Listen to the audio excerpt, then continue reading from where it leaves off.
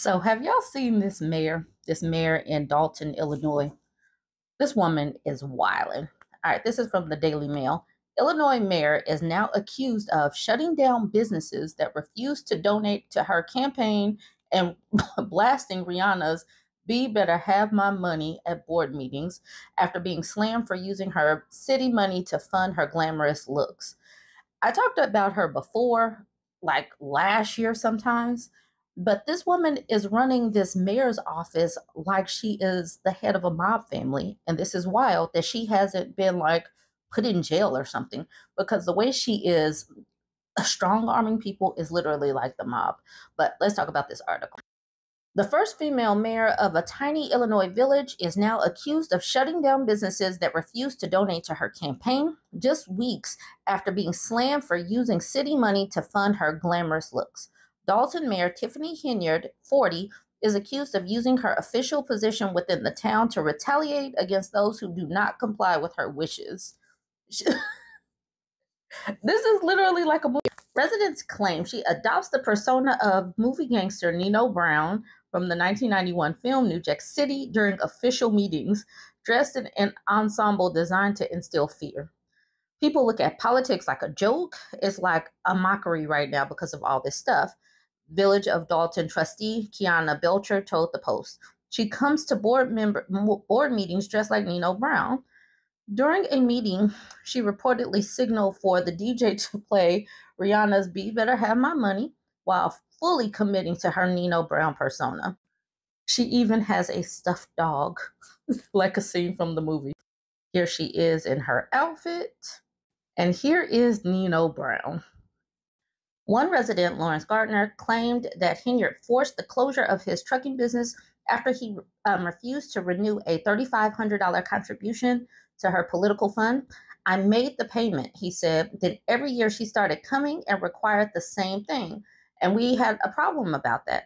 What is she, Nino Brown? He said. Anything she wants done, she gets them to harass you. She's like nobody. If you are not doing what she says, you are not doing how she says saying to do it, you are a problem. She don't like them.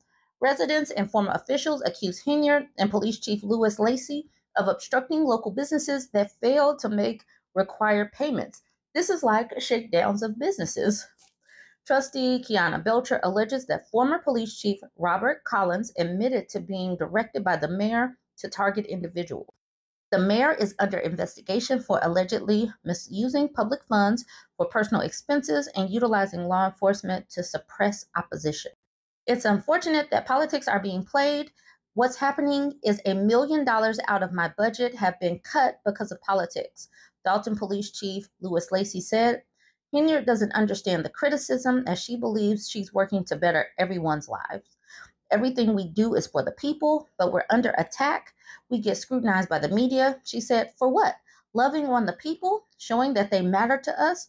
We going through the fires for you all. She doing this for y'all. the village board said the problem is a matter of trust, with citizens and trustees being unable to vet her spending. At the end of the day, vendors aren't being paid. The board approved it, but the vendors aren't being paid. Dolton trustee Jason House said Fellow trustee Brittany Norwood added, How about you being a good leader and bring proposals to the forefront so not just us, but the residents and everyone else in America know how the money is being spent?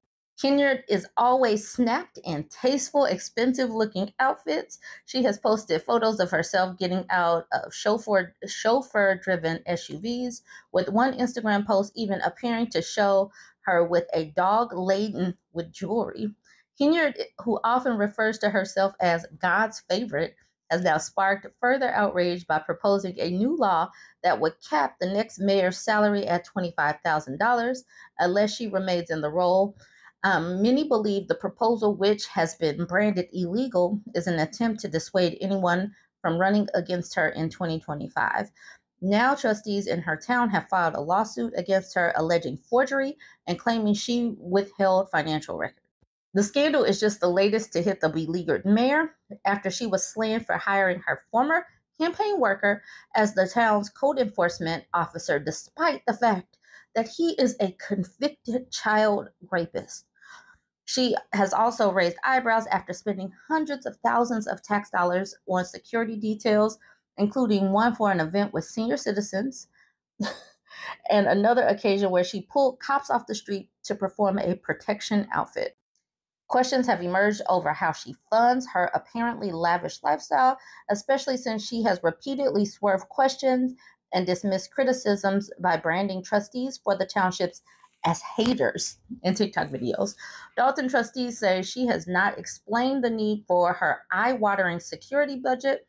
They also claim she issued checks without proper authorization. I see no justification whatsoever. And more than that, it's really a detriment to the citizens of Dolton. If we were to take the same money and put it on officers patrolling the streets, then the residents would see a much better presence and pu- public safety will be better. In, oh, I'm saying her name wrong. Haynard, um, Heynard, a Democrat, was sworn in as mayor in May, becoming the first woman and, um, and the youngest person to occupy the post in Dolton's 128 year history. After her election, a year after her election, Dolton residents triggered a, um, a recall process largely due to her hiring a convicted SEX offender, Lavelle Redmond, into the role that would require him to enter people's homes. According to the reporting at the time, the then 16 year old Redmond and three others kidnapped and sexually assaulted two girls aged 13 and 14. So her defense for hiring him is that he he deserved a second chance. All right, so all right, so the recall failed on a technicality, and Henyard. So I don't know if it's Henyard or Hay Haynard, but there's they spelled it twice differently. Okay, so she's still in the post, turning up to the next board meeting, blasting a disco song and dancing on the podium. Following the verdict, she also posted a defiant picture on Instagram proclaiming herself as the people's mayor with the caption, I am and forever will be Dolton's mayor. The post is one of hundreds on the politician's profile that feature glamorous headshots of her promoting various town events and holidays. She also features heavily on professional stylist Brandon K. Moman's account, sporting various ensembles handpicked for her public appearances. Visitors to Henyard's visitors to Henyard's website are greeted by a huge selfie and encouraged to offer donations. Her antics have earned comparisons to the show Parks and Rec- um, Recreations, um, a comedy which pokes fun at local government employees. Now, the New York Post has an op ed out talking about why local elections matter, and I guess her name is Henyard. So I'm not going to do this whole article. I do want to talk about parts of it. So she's basically taken this this township and made it into her personal piggy bank by taking lavish first class trips to cities around the country, including New York and Las Vegas. She's um and she's spending way too much money. It says that the township is now seven million dollars in debt. Seven million dollars. All right. One Dolton trustee, Brittany, Nor- um, Brittany Norwood, says the embattled mayor refuses to open up the books for the board and the public to scrutinize her spending. They're now seven million in debt. But this is the crazy part. Before Henyard, a former burger joint owner, took office in April 2021, Dolton had a budget surplus. So she's taken the surplus and made it at least $7 million um, in debt. So that means that um, it could be worse because that was a few months ago when they actually could um, see the record.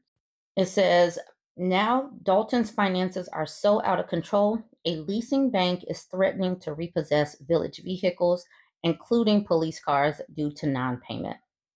This is the reason why y'all have got to pay attention to what is happening locally. Like I said early on, she is running this like she is part of the mob, the way she's strong arming people. Um, how is this legal? I do not know. How are you? Um, how are these these trustees not able to just take her credit card? I don't know. This is wild. You guys go ahead and weigh in on your thoughts. Don't forget to like, comment,